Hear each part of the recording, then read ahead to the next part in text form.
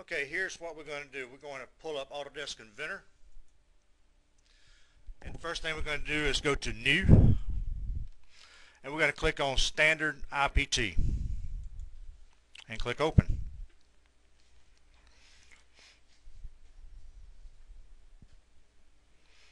This is the screen you'll come to. Uh, it's a blue grid.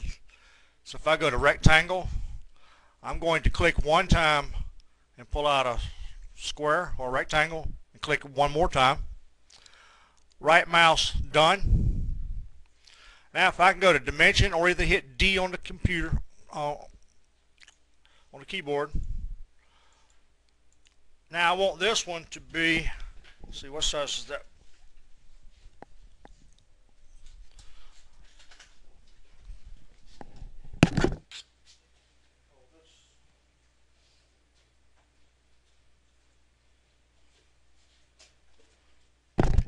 Okay, we're going with the horizontal direction.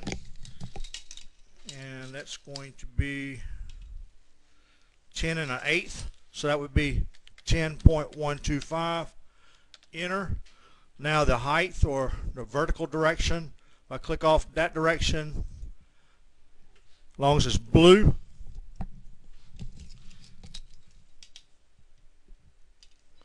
eight and three sixteenths. So that would be 8.1875 and enter. Now all I have to do is hit home on the keyboard, right mouse done, right mouse finish sketch.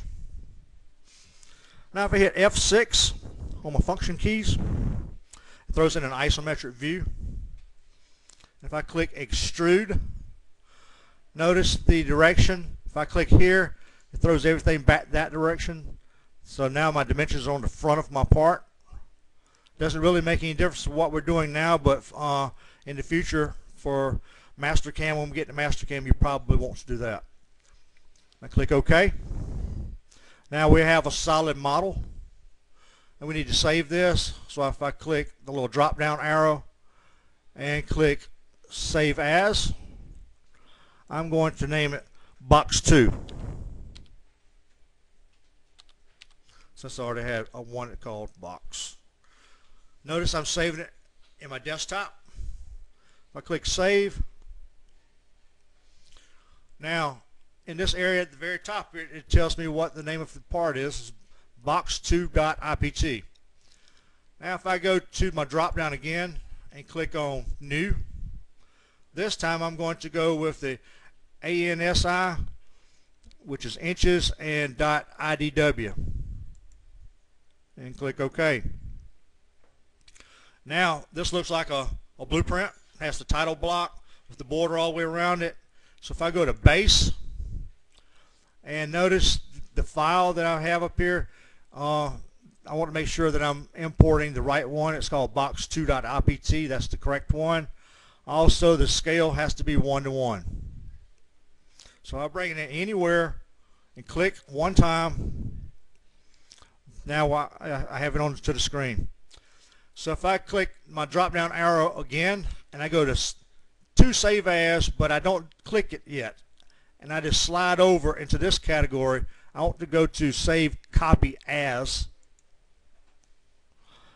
now I have different types of, of um, files that I can save it as right now I'm under inventor drawing. If I click the little drop down, I want to save it as a DXF file. Now, I'm also saving that to the desktop. So its name of it is box2.dxf. Click Save. And for right now, I'm just going to minimize it in case if I have to come back to it. And we're going to open up PlasmaCam. Nothing is imported in yet. We have a black screen. If I go to File, I'm going to have to import this. And it's already coming in as AutoCAD, but if it were not, then I would have to click the little drop down arrow and find AutoCAD DXF files. Now I can just scroll down until I get to the name of the file, which is called Box2, and click Open Now everything's here. Everything's green. Everything's active. If I hit the delete button right now, it all goes away. So if I click one time out in the middle of the screen, everything's white now. So I'm going to start putting borders around things that I don't want, and I can hit the delete button.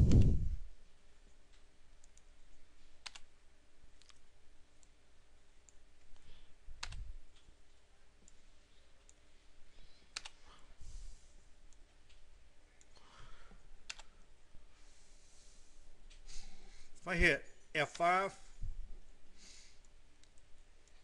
grab, turn everything green, and if I hit M for move, bring it out to the center. And if I hit F4, everything's on the screen. Notice I still have a couple things here. So if I click those, turn them green, they go away. Now, I'm going to put a border, oh, put a border all the way around the whole thing. And if I hit K, K link segments, and now it's purple.